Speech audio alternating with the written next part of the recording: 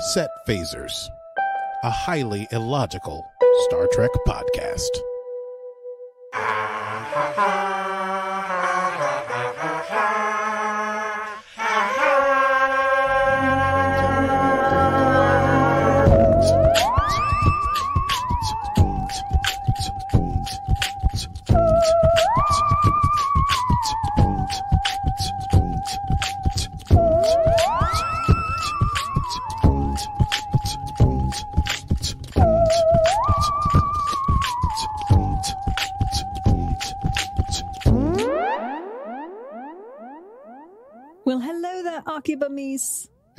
Stevie Mans. It's been a while. It's been it's been a while. It's been it's been a month of Sundays, and yet here we are once more. Yes, I was going to say it's been seven hours and fifteen days. That's No. solid. I was going to say it's been a few weeks since you looked at me, but uh, you know we don't need to clear the rights for all this stuff. Uh, Oops. uh, oops. Well, listen, we're back because there's Star Trek is back. Yes, I've There's I've more. missed you. I mean, I've missed Star Trek. and I've also missed you. I've also missed you. Sometimes the Yeah. order has I've missed you more than I missed Star Trek. You know what? That is maybe the kindest thing anyone's ever said to me. Sometimes I miss you more than Star Trek. That should be like a Valentine's Day card. The greetings card, yeah. Yeah, exactly. Uh, yes. Well, fortunately, we're a package deal. You and I get to see each other when there is Star Trek, and also sometimes when there's not. But Yeah. you know, life is what it is. Anyway, we're back because Lower Decks is back. Mm-hmm. and uh, it's very exciting. This whole new season of Lower Decks. Okay, uh, right. I've almost forgotten how to do the show. Today's uh, star date is Stardate 331-828.2. and we're talking about Lower Decks season three. Can you believe season three? Season three. Mm-hmm. I can't believe Lower Decks is three years old. The time just flies by. Your just so baby's growing up. right before your eyes. If you blink, you'll miss it. Uh, season three, episode one, entitled "Grounded." Uh, I don't know. I'm super excited. Should we? Uh, we got to do our preamble. Uh, uh, listen. Uh, This is a podcast. If this is the first time you're hearing our, our Mhm, podcast, mhm, maybe live, maybe you've checked out some back episodes, and now you're like, "Hey, what's up with these two nerds?" Uh, this is what we do. We talk about Star Trek every day. Uh, every day? Well, I do every. I try to, to talk about Star Trek every day. Yeah. Uh, anyway, uh, what what else? Uh, We have a Patreon. uh, yes, Patreon. Yes, we have a Patreon where you can join us and, and do more Trek things with us. We hang out, we have Zoom parties, we watch Star Trek together. You are able to get some behind the scenes access, and you can do that all for the uh, starting sum of $5 a month at patreon.com forward slash set phasers. Join us there. Yes, and if you do that, you can see me very slowly dancing whenever Stevie talks about Patreon. Mhm. Uh, and what else? Uh, that's it, man. Oh, I added into my notes that we're supposed to say that our episodes come out on YouTube, and I wrote brackets need Earl. You can find our YouTube uh, somewhere. I think probably just go to our website and then there's there's a clicky button thing. So setphasers.com and then you can find all of the things. All you got to do is find the clicky button thing. Yeah. Listen, listen, Clicky listen, button thing. Great thing. Totes. Clicky button thing. Uh, well, without further ado, shall we? Run it down. It's time to run it down. Can you run it down for me? What just happened? Can you run it down for me? We sure can hmm run it down for you. Okay, basically, the quick backstory is that the end of last season, there was a whole thing with the Pakleds, and their planet, their main city was blown up, and we, I think we knew that it was so, some sort of conspiracy to do a thing, but basically the end of last season was Captain Freeman being arrested, hauled off by uh, uh, Starfleet officers for the the crime of having uh, sabotaged and blown up Pakled Planet.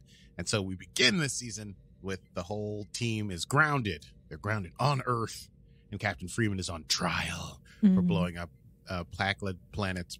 Well, God, Pakled we've planet, already started placklet, plack, tongue- plack, plack, tongue twisters packleds. have begun.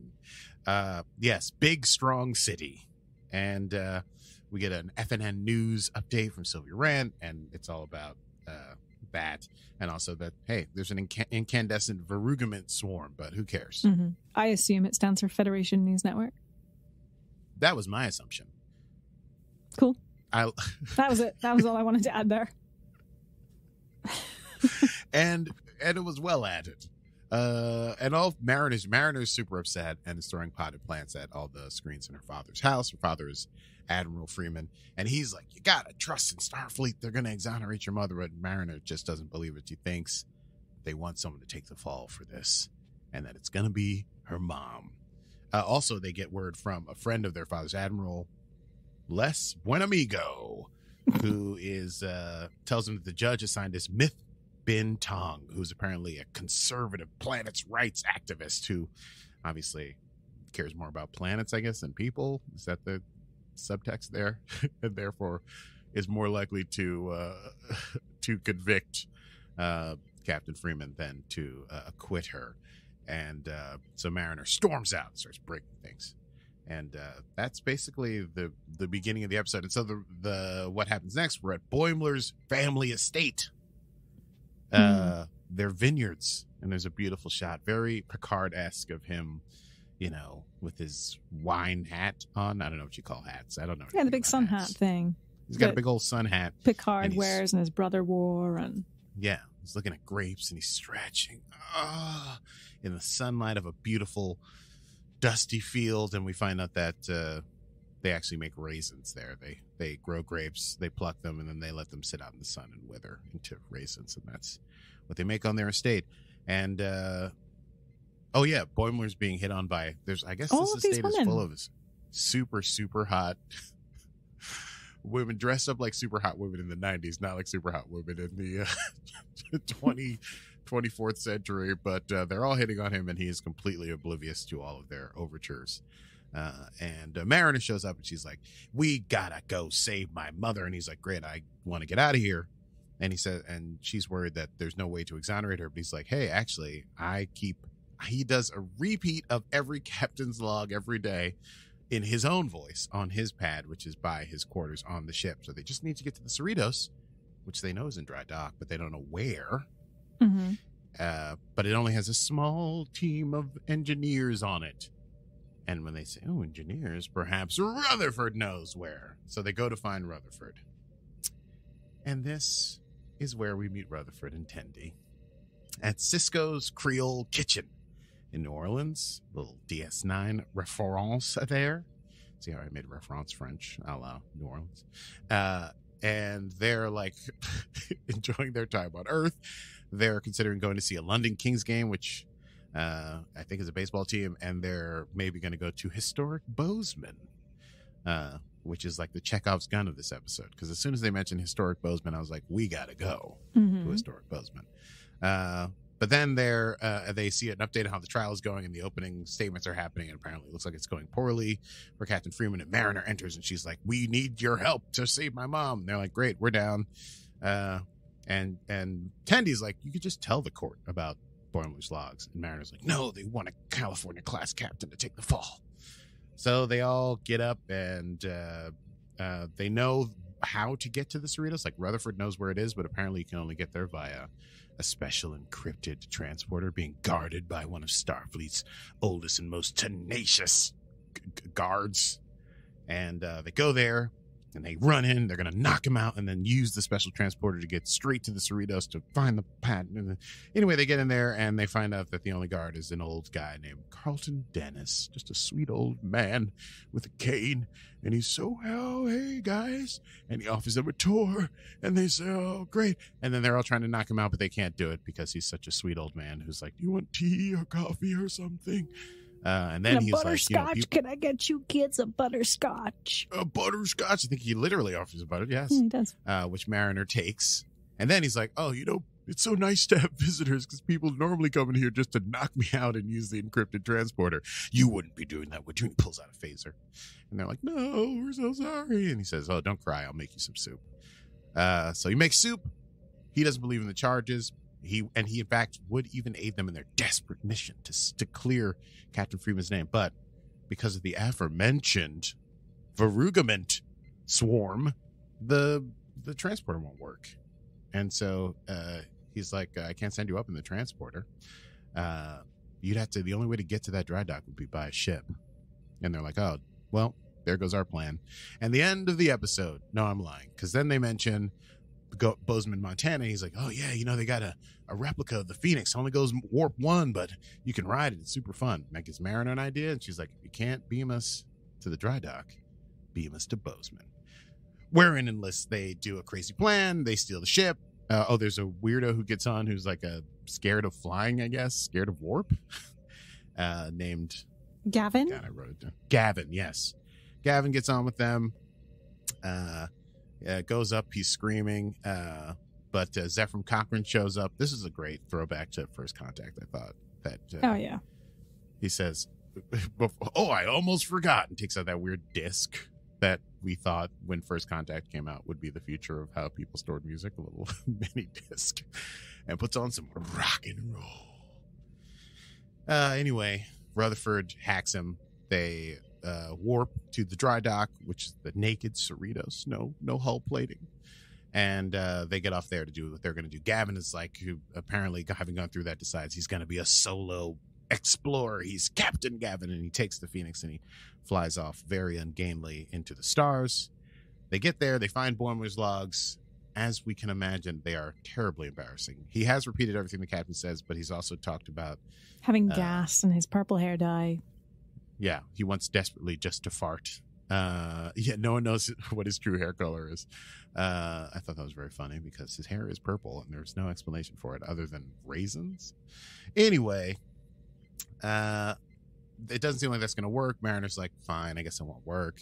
They're like, okay, great, we'll go back. They get on a shuttle, uh, the Joshua Tree, and uh, then Mariner's like, oh, I just got to check on something. But she's hacked the shuttle and sent them back to Earth, and she's taking over the Cerritos because she's going to go. There was like a Klingon person who apparently is the arms dealer that that Captain Freeman was involved with, and she's going to go find out who that Klingon is.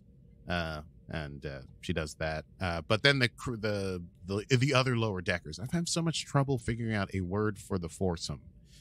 The lower deckers, does that work? I think so. Great. The other lower deckers uh, trick the shuttle into going back on the ship, and there's a fight on the bridge with Mariner, and she's beating the crap out of all of them. Boimler, in fact, exclaims, Why are you so good at fighting? Uh, but Rutherford manages to lock her out of the navigation so that she can't steal the ship, so that she can't ruin her Starfleet career. But then they're hailed by Starfleet security, and they're in the Verugament field, and the Verugament are flying onto the ship, and, uh, you know, they're, they're, uh, you know, it's like a swarm that's gonna do it. They're doing it on the ship. They're all getting together and doing it. hmm A mass orgy? Is that what you're trying to say? Uh, in so many words. There's a big, uh, glowing electrical verugament, uh, slimy uh, space, uh, squid, toad, uh, slug orgy. And uh, Tendi has a great idea to tell them uh, the security that hey, this is an experiment that we were supposed to do. Security comes on board and they've collected some verugament and they're being shocked and they're like moving eggs out, in and out of ovipositors and getting shocked. And security's like, great, I'm so glad you guys took uh, such initiative. So who's the senior officer who uh, said you could do this mission? And just as it seems like everything is going to fall apart, that's when Captain Freeman and her her bridge crew come on deck and say, "I did." And apparently, yeah, uh, Mariner only needed to trust in Starfleet to get to the bottom of it. Apparently, a desperate mission was launched to while while Freeman was in court to figure out uh, what had happened. They found some uh, connection between the Pakleds and like a data person, data miner. I forget what it's called. Uh, anyway, they they found this person, an elite mission went there, a data fabricator, and helped set up the Pakled conspiracy. And they found out the Pakleds blew up their own planet in order to force the uh, Federation to help them relocate to a planet with more raw materials. And so, Mariner, uh, sorry, Captain Freeman is cleared of all charges, is back on deck. Everything is well. The securities leave. Mar- uh, Mariner's like, I'm so glad you're alive. And Freeman's like, in fact, you're actually all in trouble for doing terrible, terrible things. I've only been out an hour and you've stolen the stupid ship, you idiots. So she has the lower deckers clean up the thing, uh, the, which is full of slime, eggs, and stuff uh, from the orgy. And uh, uh, she and uh, Admiral Freeman, I forget his first name, uh, go and chew out Mariner, who still seems just completely, you know, is, is Mariner about it. And so Captain Freeman realizes maybe they have been enabling Mariner. And since they don't have the heart to kick her out of Starfleet, they'll put someone else in total charge of Mariner's career. None other than Jack Ransom. Is that worthy of a done and done or not? I don't know. I mean, there's, you know, the big, there's no real Hmm. uh, we'll get to that. Anyway, yeah. So uh Ransom's in charge of her now, and that's uh, how that goes. And the end of the episode is the lower deckers cleaning the bay and being like, "It's good to be back," even though we're getting shocked and it's nasty. And they do check out uh, Federation News Network to see that Captain quote Captain Gavin uh, had crashed and has been saved and is being uh, dragged away by Starfleet security. And he screams into the camera, "You haven't seen the last of me." And that's the end of episode one of season three of Star Trek Lower Decks, entitled "Grounded." hmm You want to chat about that? Yes, let's do. I say, darling, let's do a quick chat about that. Yes, yes, let's, let's do. What did you think? I loved the episode, but I felt that I just thought that um, Freeman's exoneration thing was going to go on as part of the season arc. So I was a little disappointed that it was just so it was resolved so quickly. It's a very Mike Mann, McMahan, Mike Mike McMahan. Mike McMahan uh, style joke is that like you, the the big setup. I also we That's all the previews made me think they're doing all this to clear Captain Freeman's name. Yeah. And of course, no. Yeah, Starfleet's like no. That's the kind of thing you would solve in an episode of, of Star Trek. It would True. be like you're on trial, and then someone would give a great speech, and some evidence would be found by some other. So I thought that was cool, but I agree. I was like, wow, this is. I thought we are going to end on a to be continued or something. Uh, but we have like a different plot hook here, and it's more about, which is kind of interesting. It's more about Mariner and her impulsiveness, Mhm. her, uh, her obvious, like, she would be great in command if she gave a damn about being in command. Because I do wonder, you know, this is now season three. We've established who the characters are. We're now developing them, right? Yeah. So it's whether they, as cartoon characters, can be developed, or if we're just still, you know, everyone's going to be the same character and it will work forever and ever, like The Simpsons, or Right. whether we'll do something else. Yeah, I do feel like they're. I, oh boy, did I just go through puberty? yeah, I do feel like uh, we're gonna see some development, and that's my normal voice. Uh, this is how I normally talk. Uh, I do feel like we're gonna see some character development from from uh, these characters. I think that's kind of the the move here. It seems like they're really pushing. Do you feel like okay? Obviously, tinfoil time for Mhm, Akie mhm, Bermiss. As usual, I have uh, an absurd theory. By season four, Captain Mariner. I don't. I was going to say, do we hear wedding bells? But like, you know, I don't know the woo of a captain on deck, whatever. I feel like, do I think it, we would be more likely by season four to see her as first officer. Right. Like ransom, get ransom out of there. Mariner's first officer on the ship. Yeah, I don't know if she'd be, well, certainly not on the Cerritos. Right. But there's got to be some like, all the senior staff are gone, and Mariner has to sit in the chair, which I Mhm. guess has sort of happened already in different instances. Anyway, I like this progression. I do feel like Mariner is slowly, as an anti-hero, becoming better. But I want the whole thing with ransom and her is, I think, is going to be very interesting. Sexual tension. Sexual tension and also uh, profound, weird dislike of each other, but also like of each other. It's a love story. A love story. My love is like a storybook story. I, I thought I really thought you were going to go with Taylor Swift there.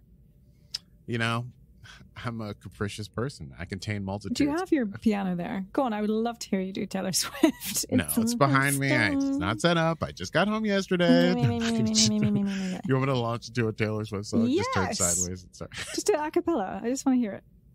No, no. I know this is a trap. no, It's a trap. it's not I a know trap. a trap when I hear one. uh, go ahead, just sing some. Uh, I'm not recording or anything. Just go ahead and sing some Taylor Swift. I would never. Sing right into your microphone. Sing right into the microphone. I would never remix anything without your permission. look directly into the camera and sing Taylor Swift like you mean it. Uh, the other thing I thought was because I do know that we're going to Deep Space Nine this season. That was a big reveal. Yes, yes, yes, yes. There are three Deep Space Nine. I don't know if you have Easter eggs or anything like I that. do have some, yes. All right, so maybe let's go to Easter eggs, and I'll mention my super nerdy Deep Space Nine stuff. Sounds good. You know, do you remember how Easter eggs works? Okay. Oh yeah, hold on. Let me just stretch. You just you just Uh, took a pause there and I was like, I'm waiting. yeah, no, I stepped back and I was like, "Is there?" Oh no, this is me. Okay.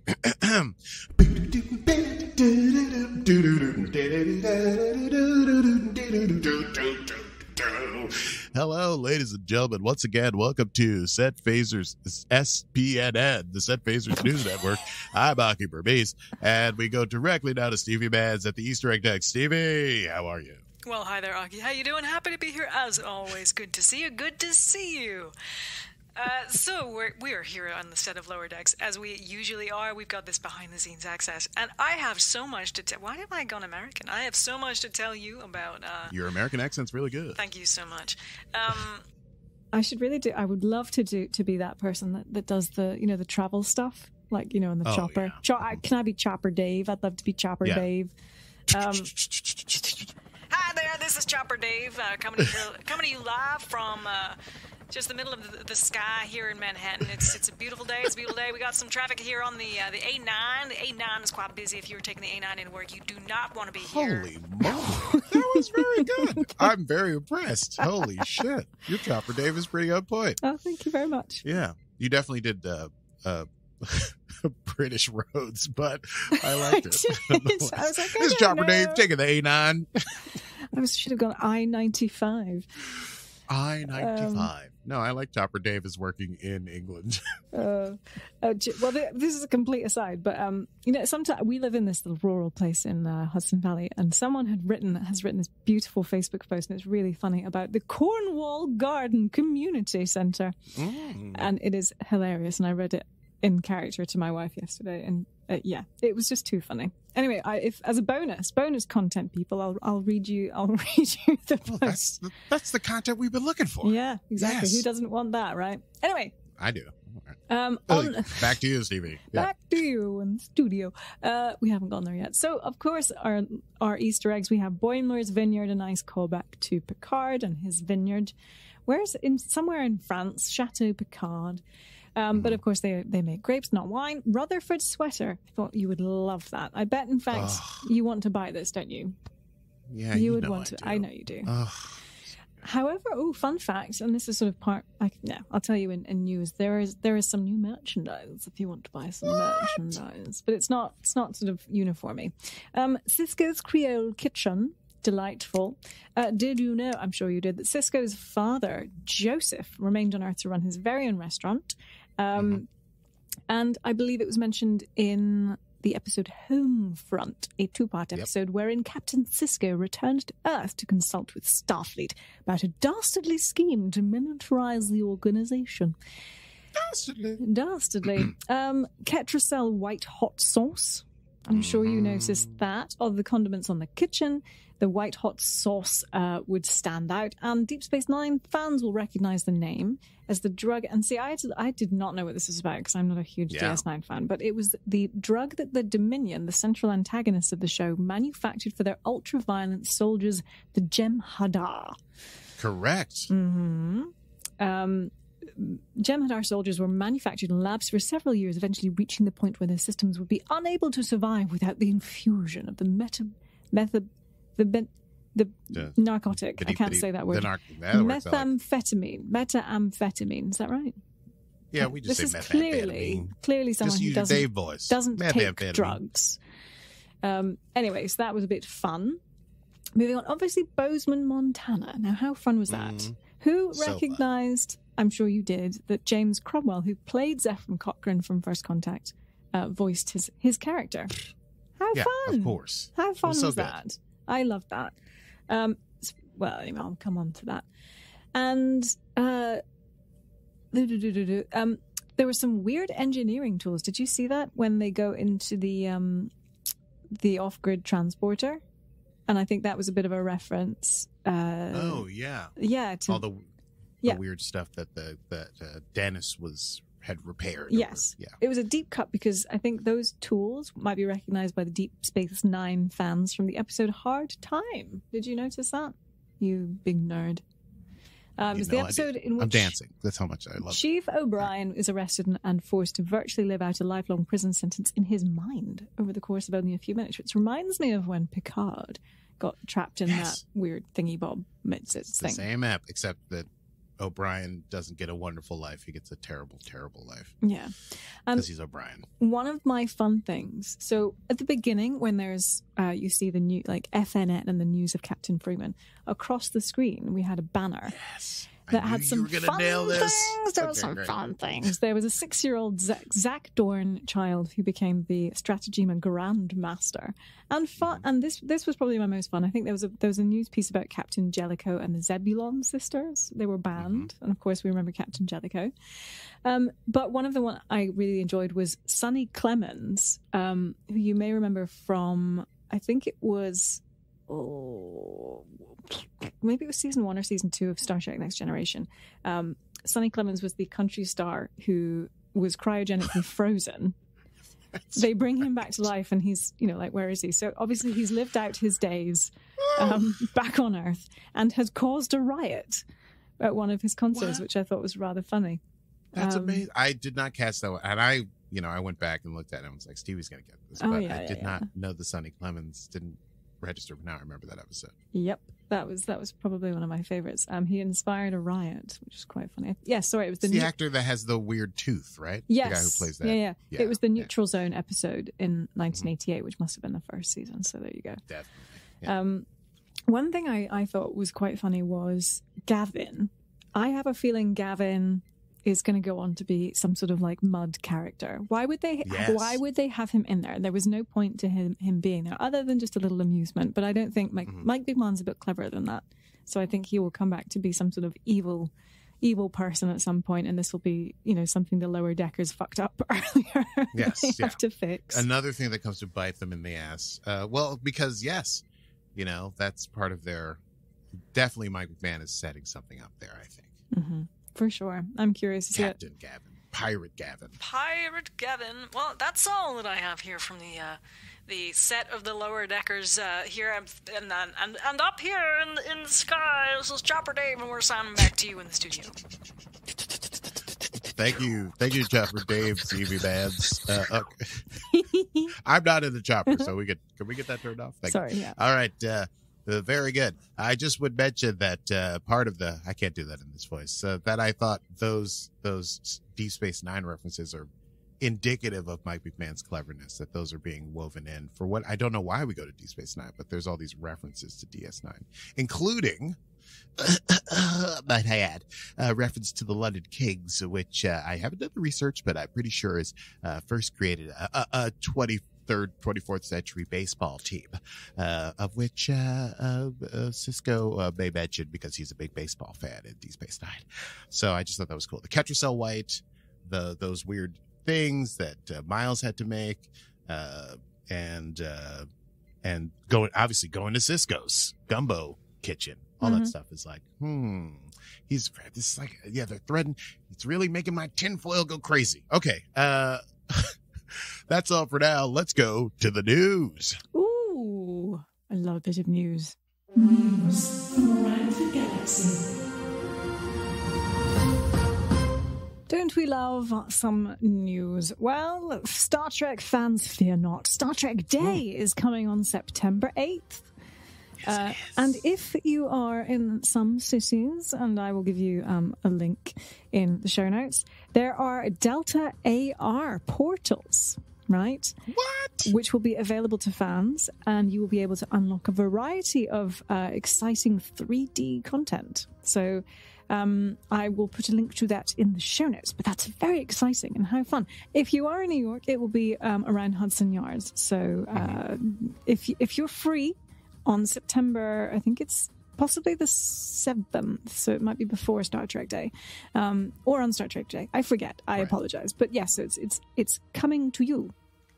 Wrath of Khan. Wrath of. Are you, in fact, ooh, we could go together. Wait, we. But I thought you were going without because it's happening while I'm on tour. Oh fuck yes, I had to go without. Yeah. Sorry, I went back to Wrath of Khan. I was going back to the Star Trek Day and the AOR Oh, yeah, Star, portals. Star Trek But Day is you- my but travel. You are day. traveling, so never That's mind. when I. That's literally when I leave. Oh well. So, uh, Wrath of Khan's 40th anniversary, we've been talking about this for a long time, um, is showing in cinemas the 4th, 5th, and 8th of September. I believe I'm going. I think it's also on the 7th too. I think I'm going on the 7th. It's uh, Labor Day. Um, you can see Fathom events for more details. I will also put that link in the show notes for you because I am so good to you. Uh, and good. Fun fact: so Lower Deckers. Uh, if you were a fan of Lower Decks, and if you are listening to this podcast, I would hope you are.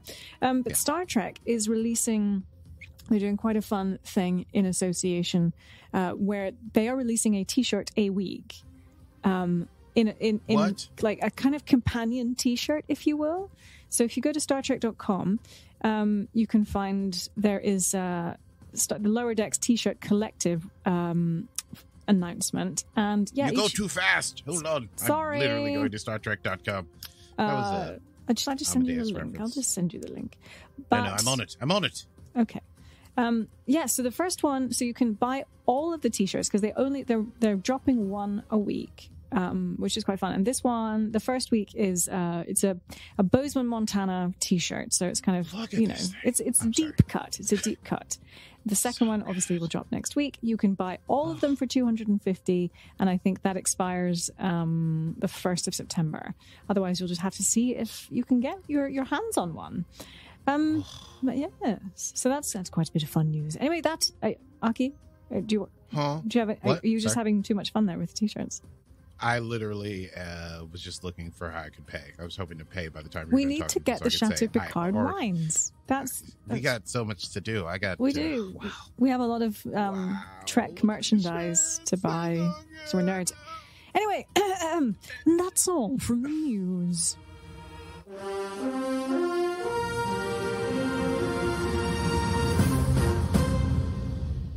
Well, that's Oh. it. Oh, so sorry. We uh that we should go to next time. I'm still. I I need to close this window. Next time on Set Phasers. that truly was news for me, and it's changed my life. Uh, uh, oh God. Okay, so next time we'll talk about episode two of season three of Star Trek Lower Decks, in which something dastardly and terrifying will happen. Oh, uh, uh, thank you so much for listening to this episode. If you liked it, uh, please rate, uh, rate. So please, you know, give us a review on Apple Podcasts do, or something. please do. I don't think we've had a, yes, a yeah. review for a while. We would love to hear how much you love our show, or if you don't, then you know, don't bother. That would be that's fine too. yeah um um you know also uh, yeah it's all great and uh yeah uh we have a bajillion back episodes. We've covered every new star trek uh, episode by episode to date. So that's discovery picard lower decks and strange new worlds we have episodes for each episode of those episodes did i say episodes starting to sound like a weird word i'm gonna stop saying episodes now Yeah, stevie anything to add uh, yeah. I can't remember. You can probably follow us somewhere. Uh, just go to setphasers.com and find where you want to follow us and, and engage. Uh, please join our Patreon. We would love to have you and join our crew. Um, we are probably due for a uh, hangout soon, so please Yes. do please do join and become one with us. We want we want you on our crew.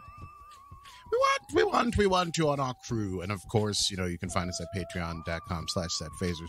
Uh, oh, wait, that's what you just said. So you can also find us on Facebook and Instagram at Set Phasers Podcast, uh, where Stevie makes memes, meme game strong, and I like them. Indeed. And, uh, and uh, truly do. Uh, and that's it, I guess. Yes, and uh, uh, what do I say next? I think I say something like, you know, computer and program, or well, I, say, yes, I'm, uh, I'm, I'm, uh, I am Stevie Mans. And I'm, and dear listener, as far as you're concerned, I'm your mama now. and this has been Set Phasers, a highly illogical. I just realized we didn't do quotable moments, so actually that's perfect. Oh yeah. Let, Wait, do you? We can't. I didn't back have any. Let's, Should we, we? can't go back. Okay, We well that was my back. main one. That one's great. That's and ransom saying, as far as you're concerned, I'm your mama now is amazing. Yeah. Uh, and this has been Set Phasers, a highly illogical Star Trek podcast. Computer and program.